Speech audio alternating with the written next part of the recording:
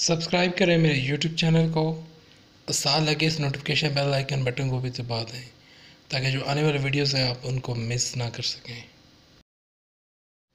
بسم اللہ الرحمن الرحیم، السلام علیکم السلام علیکم، پاکستان۔ ایا کا ادو بدو و ایا کا اے اعلام تیری عبادت کرتے ہیں اور تجھ ہی سے مدد مانگتے ہیں۔ ویڈیو شروع کرنے سے پہلے میں دو باتیں کرنا چاہوں گا۔ یہ باتیں آپ کے لیے سننا بہت اہم ہے سب سے پہلے میں آپ سے ایک سوال پوچھنا چاہتا ہوں اور وہ اس سوال یہ ہے کہ کیا آپ حقیقت چینل کا جو ایڈمین ہے، کیا آپ اس کا چہرہ دیکھنا چاہتے ہیں یا نہیں دیکھنا چاہتے ہیں؟ جو شخص اس آواز کے پیچھے چھپ کر بیٹھا ہوا ہے، میں آپ سے یہ پوچھنا چاہتا ہوں، کیا آپ اس شخص کو دیکھنا چاہتے ہیں یا نہیں؟ کمنٹ سیکشن میں لکھیے گا اور یہ بھی بتائیے گا کہ آج تک آپ نے اس سے سوال کیوں نہیں پوچھا؟ اور آپ اس کے چینل کے اوپر جو کمنٹ کرتے ہیں، اسے آج تک آپ نے اس سوال کا جواب کیوں نہیں پوچھا کہ آپ اپنی شکل کیوں نہیں دکھاتے؟ جو دوسری بات ہے، وہ یہ ہے، جو میرے متعلق ہے، جو کہ سارے یوٹیوبرز کے متعلق ہے، اس کے بارے میں آپ سے میں ایک اور سوال یہ پوچھنا چاہتا ہوں کہ جب ہم حقیقہ چینل کو ایکسپوز کرتے ہیں، جب ہم اس کے بارے میں ویڈیو بناتے ہیں، تو آپ ہمیں گندے کومنٹ کیوں دیتے ہیں؟ کیا ہم عقیقہ چینل کے خلاف جو بات کرتے ہیں یا جو پوائنٹ آؤٹ کرتے ہیں، کیا ہم عقیقہ چینل کو گالیاں نکالتے ہیں؟ کیا ہم رول لینگویج یوز کرتے ہیں؟ نہیں۔ ہم اپنے پوائنٹ کی بات کرتے ہیں، ہم اپنا پوائنٹ آف ویو بتاتے ہیں۔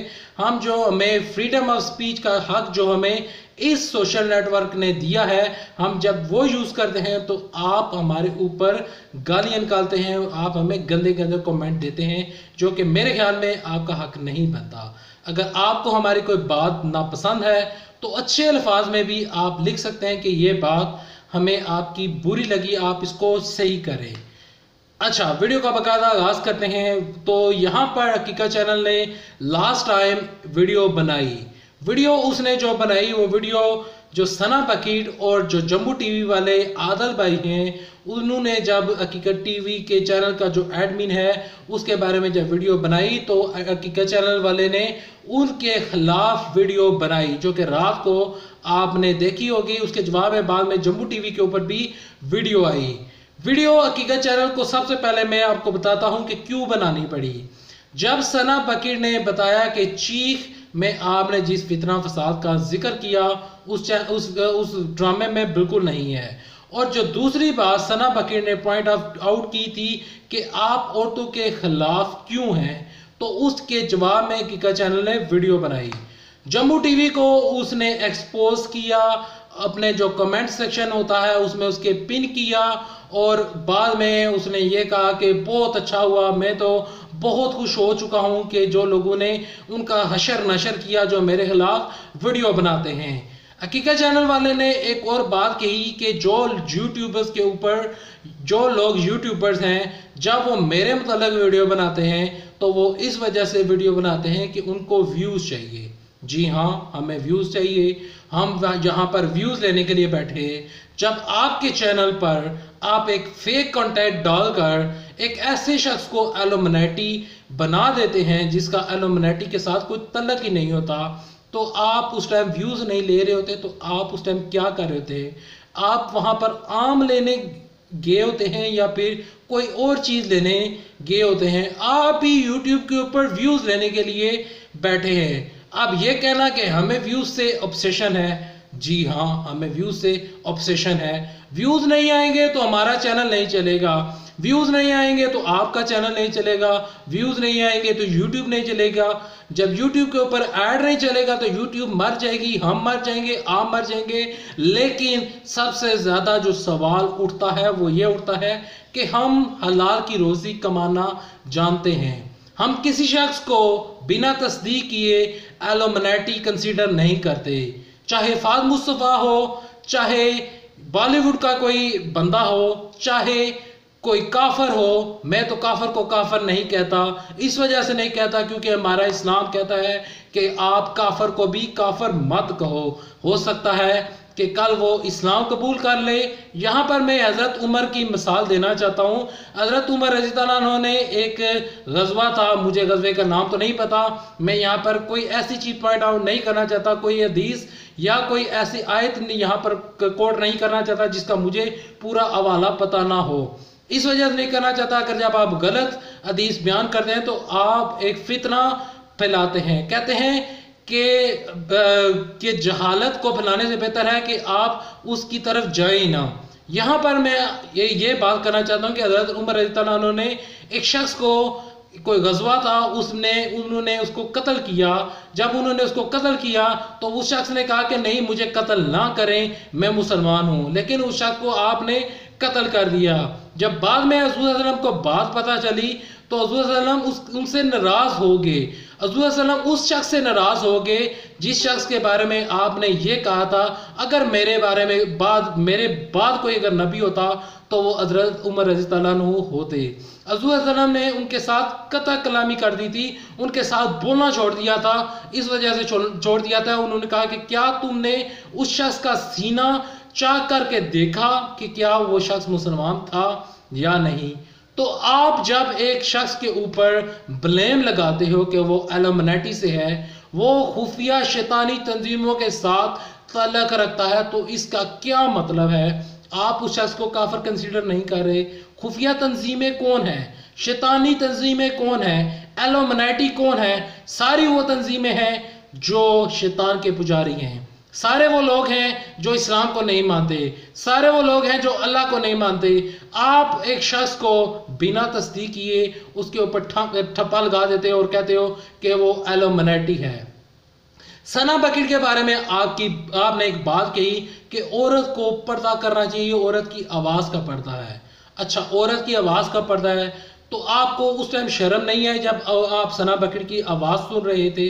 آپ کو اس ٹائم شرم نہیں آئی جب آپ نے ویڈیو لگائی اور ویڈیو کے اینڈ کے اوپر جو پاکستانی اینکرز ہیں، جو کہ روزی روٹی کمانے کے لیے باہر نکلتی ہیں، کیا روزی روٹی کمانا گناہ ہے؟ اور جو وہ کپڑے پہنتی ہیں، آپ نے وہ کپڑے زوم کر کے دکھائے کہ یہ دیکھ لو، یہ اس لڑکی کی عزت ہے۔ جس شخص نے آج تک اس گہرائی کے ساتھ اس عورت کو نہیں دیکھا تھا، آپ نے اس عورت کو دکھایا۔ کیا آپ کو شرم نہیں آئی؟ کیا آپ عورت کا جب نام لیتے ہیں اور جب آپ عورت کو دکھاتے ہیں اور جب اس نے کوئی گندے کپڑے پہنے ہوتے ہیں، کیا آپ وہ تصویریں بلر کرتے ہیں؟ نہیں، آپ تو کھلم کھلا بیان کرتے ہیں کہ اس عورت نے گندے کپڑے پہنے ہوئے ہیں اور جو سنا نے ویڈیو بنائی اور اس کے بعد جو جمبو ٹی وی نے آپ کو ایکسپوز کیا، آپ نے بجائے ان کو ایکسپوز کرنے کے بجائے آپ نئی عورتیں ڈال کر ایک نیا فتنہ ڈال کر آپ لے آئے۔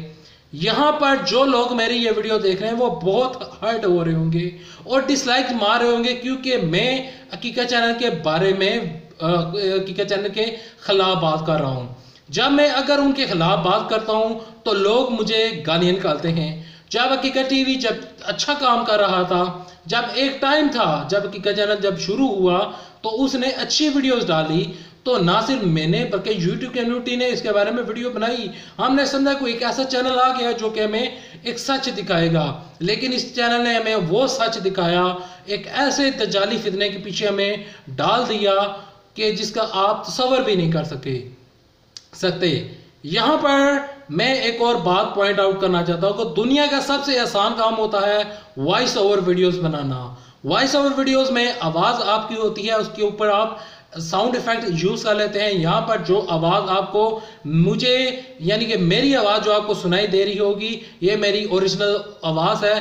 عادل بھائی ہوگی سنا ہوگی یا جو بندے بھی ویڈیوز بناتے ہیں، جب وہ وائس اوور کرتے ہیں تو ان کی آواز اور آتی ہے اور جب وہ وائس اوور نہیں کرتے جب وہ ویڈیو اپنی شکل دکھاتے ہیں، میں شکل دکھا دیتا ہوں، عادل بھائی شکل دکھا دیتے ہیں، دنیا کے سب سے بڑے بڑے اینکر جس میں اقراء الحسن آگے اور دنیا کے جتنے بھی اینکر ہو گئے جو کہ کرائم رپورٹر ہیں، وہ اپنی شکل دکھاتے ہیں۔ یہاں پر لوگ کہتے ہیں کہ حقیقت چینل والے اس وجہ سے شکل نہیں دکھاتے کیونکہ حقیقت چینل والے کو ڈر ہے کہ جی میں اتنا سچ بولتا ہوں تو میں ایکسپوز ہو جاؤں گا، لوگ میرے بارے میں طرح طرح کی باتیں کرتے ہیں۔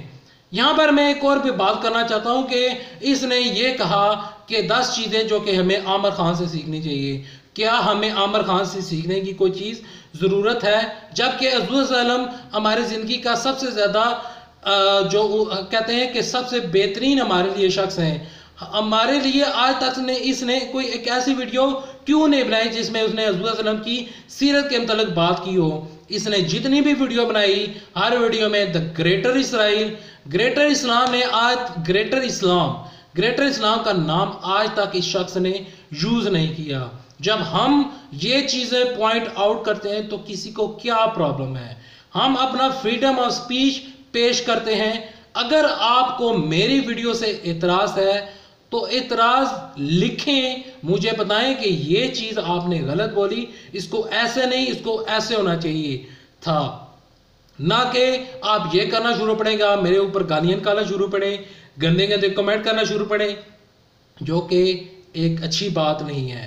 یہاں پر میں آپ کو تھوڑے سے محنت اس وجہ سے بتا رہا ہوں کہ یوٹیوب کے اوپر جب آپ کمنٹ کرتے ہیں، تو وہ جو کمنٹس ہوتے ہیں، وہ آپ کے گھر کی جو مائیں بہنیں ہوتی ہیں، جو کسی کی مائیں بہنیں ہوتی ہیں، وہ ہماری یہ ویڈیوز دیکھتی ہیں۔ جب وہ نیچے گندے کمنٹ پڑھتی ہیں، تو ہمیں شرم آتی ہے۔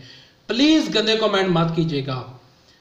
کیا کریں اور نہ کیجیے گا۔ اچھا اور میں ایک اور بات بھی انکلوڈ کرنا چاہتا ہوں۔ اور وہ بات یہ ہے کہ کیکا چینل والے نے آج تک اپنی شکل کیوں نہیں دکھائی؟ میں اس ویڈیو کے اینڈ میں ایک ہی بات پوچھوں گا۔ آپ نے آج تک اپنی شکل کیوں نہیں دکھائی؟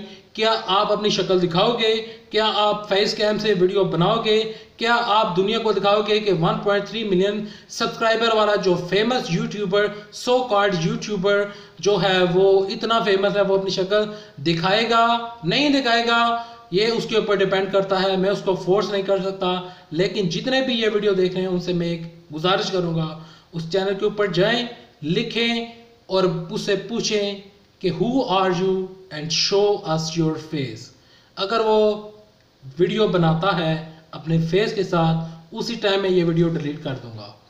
ابھی تک لیے اتنا ہی۔ باتیں پسند آئی، اس ویڈیو کو لائک کریں چینل کو کریں سبسکرائب اور یہاں پر لاسٹ بات میں ایک اور کہنا چاہتا ہوں کہ کسی کو بغیر حقیقت جانے ایلومنیٹی کنسیڈر مت کرے ایلومنیٹی کنسیڈر کر رہا ہوں اس کی ذات کے بارے میں، آپ اس کے ایمان کے بارے میں اس کے خلاف بات کر رہے ہیں جو کہ اچھی بات نہیں ہے۔